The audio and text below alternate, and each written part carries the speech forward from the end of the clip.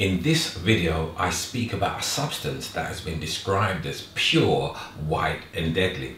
It's also been described as a toxin. As a nation and as a world, we eat far too much of it.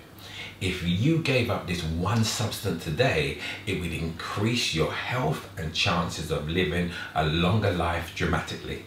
I'll see you on the other side.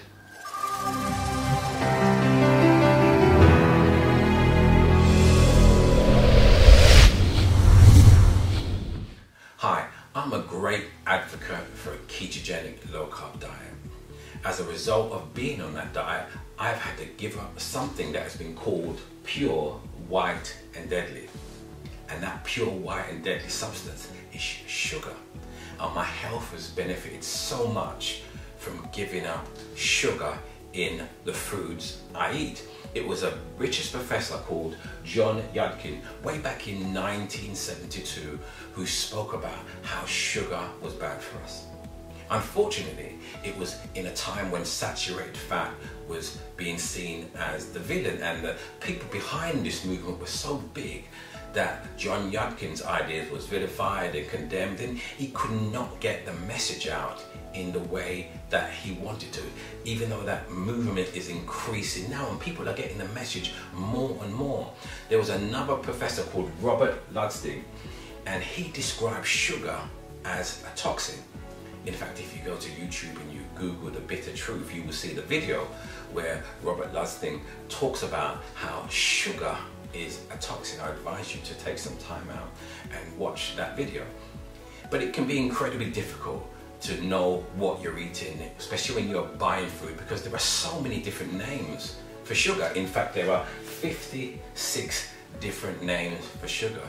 Glucose, maltose, uh, sucrose, even fruit juice. When you see fruit juice on the back of something, that's actually sugar.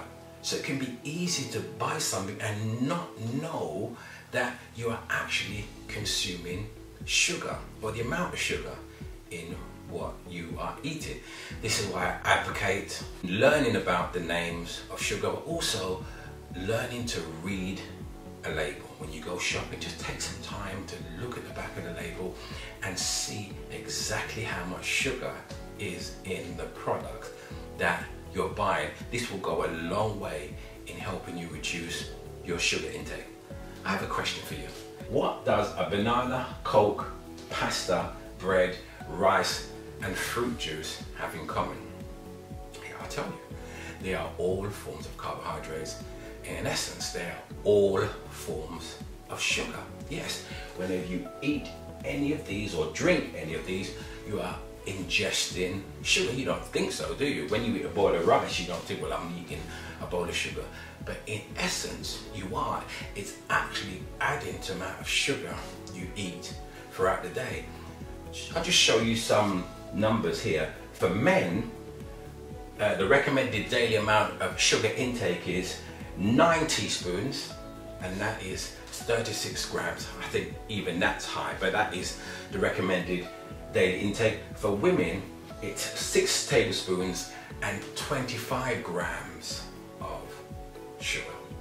That is the recommended daily intake of sugar, which they say is safe. I still think those figures are a little bit high, but you can see how easy it can be to go above these recommended daily allowances. Let me just give you some examples. Coke, we all know how much sugar is in Coke, but look, if the recommended daily intake is 36 for men and 25 for women, there are 39 grams of, of sugar in a tin of Coke. I have never liked Coke. I've always tried to avoid it like the plague.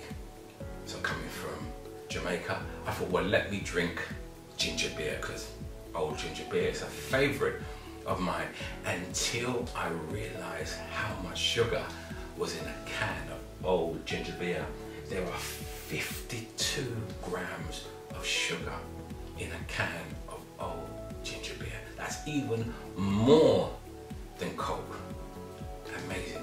And I didn't know that until I started doing my research.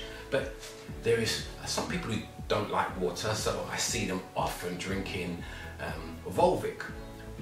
They see it as water and slightly flavored, so they think, okay, that's okay to drink. But look, in a small bottle of Volvic lemon water, there are 14 grams of sugar in one of those small bottles.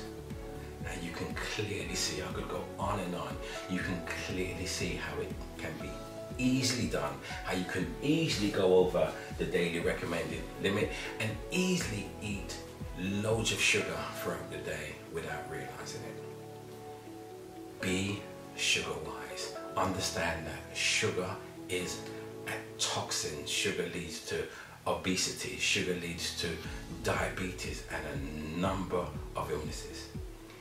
As I said in the beginning, if there's one thing you can do today, and that is to dramatically reduce your sugar intake, you will see the results and the benefits in your overall health and well-being in a very, very short time. I'll be doing some more videos on sugar and what it does to you in the future.